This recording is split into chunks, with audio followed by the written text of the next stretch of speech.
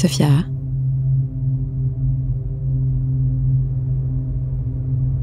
Es-tu déjà allée dans un musée?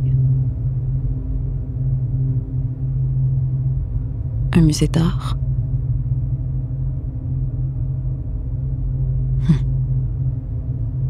C'est ce que je me disais.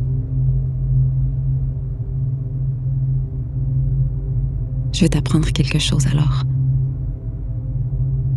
Dans un musée, n'y a pas le nom des modèles à côté des toiles. Il y a seulement le nom du peintre.